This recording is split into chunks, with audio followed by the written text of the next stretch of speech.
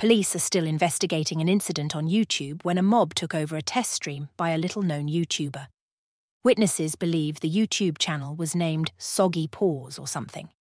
Police are looking for the ringleaders of the mob and are asking to speak to the following Michael Hayward, Brandy Hayward, Hiveless B, Icon sees Mr. No, a notorious drug dealer, active shooter. If you see any of these people, please do not contact the police directly as they will not respond. Post it on Twitter and I'm sure they will send six police officers in five minutes.